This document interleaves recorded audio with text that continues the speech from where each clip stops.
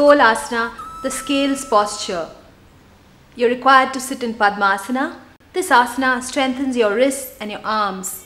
Don't do this if you have weak wrists. First sit in Sukhasana and then place your ankles on your opposite thighs in Padmasana. Keep your hands beside your thighs, your palms flat on the floor, your fingers open and pointing forward. Push the floor and lift yourself off the floor, your buttocks and your thighs completely off the floor. You may sway in this posture, relax, lower your arms and legs, and come back to Sukhasana, relax.